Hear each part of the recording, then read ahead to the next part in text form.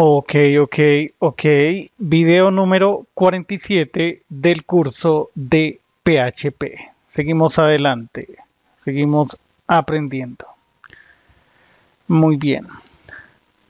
Entonces, em, hay un caso de demostración que dice lo siguiente. Desarrollaremos una aplicación que solicite la carga de cinco números en un formulario HTML y al presionar un botón se calcule la suma en el servidor. Eh, este formulario es sencillo. Contacta la página página2.php que es el recurso que está en el servidor. Listo. Entonces, hay eh, cinco inputs, valor 1, valor 2, valor 3, valor 4 y valor 5. Tremendo. El tipo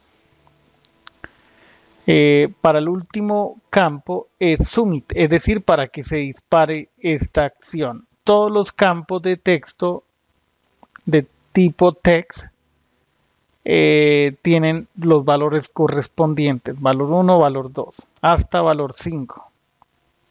Eh, es un formulario sencillo. Es importante notar que al input de tipo submit no le definimos la propiedad name.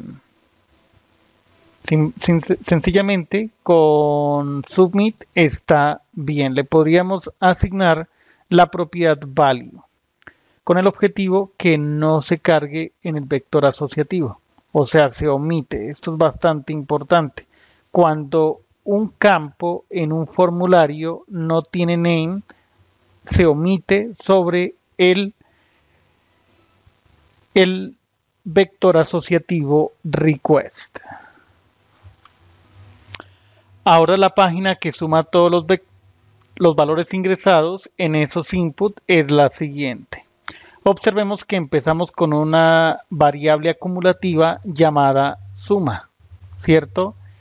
Y este bloque de código, estas siguientes cuatro líneas de código representan la iteración de request.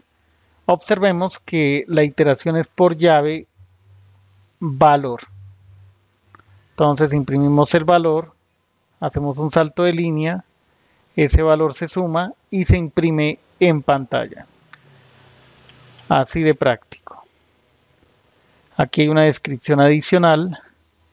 Em, dice, si solo queremos acceder a los valores del vector asociativo, basta con este esquema. Se omite la llave, no es necesaria.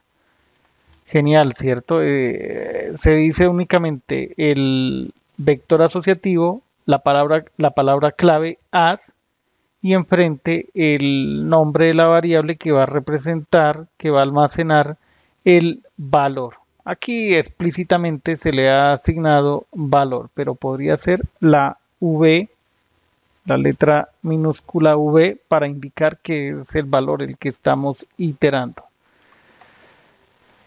Así está el asunto. Entonces, eh, vamos a reproducir este caso de ejemplo. Copio este código, ok vamos hacia el editor de Visual Studio Code. Pero antes de ir ahí subiré el código del video anterior. Github desktop. Ahí ya se está sincronizando. Vamos hacia el editor a Code creemos aquí otro archivo 1703 indiquemos aquí su em, vectores asociativos suma eh, punto php ok. Y ahí pegamos el código html este archivo también se puede llamar puede tener la extensión .html ya que no es necesario aquí realizar alguna instrucción en PHP. No hay etiquetas para incluir código PHP. Listo, entonces otro commit, formulario para capturar cinco números. Y el código que nos hace falta es lo que se ejecuta en el servidor. Entonces, A este lo vamos a llamar demo 1703 vectores asociativos suma punto eh, procesar punto php pegamos ahí el código. Un commit como de costumbre em, iteración por llave y valor del arreglo vector asociativo request. Entonces, em, a ver, ejecutemos este código en el servidor.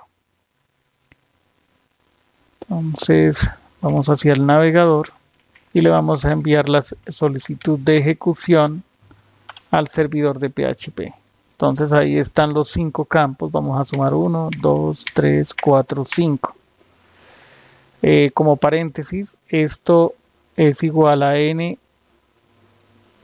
por n más 1 dividido entre 2.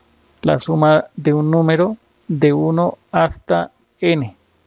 Entonces, como es de 1 a 5, sería 5 por 6 dividido entre 2, esto es 30.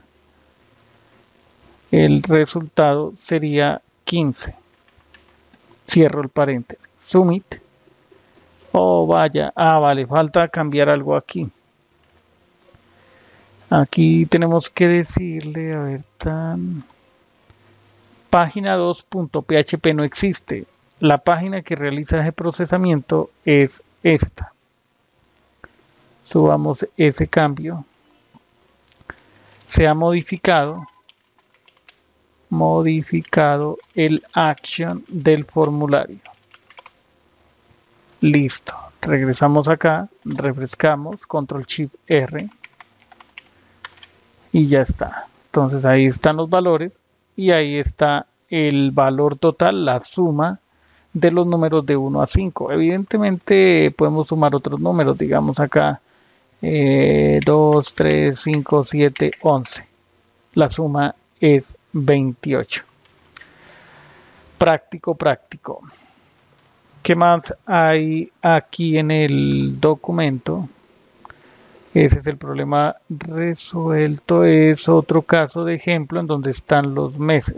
Yo creo que este, este problema resuelto lo realizaremos en el siguiente video junto al problema propuesto. ¿Vale? Entonces, em, dejamos hasta aquí. Antes hacemos una subida de los cambios al repositorio remoto en GitHub.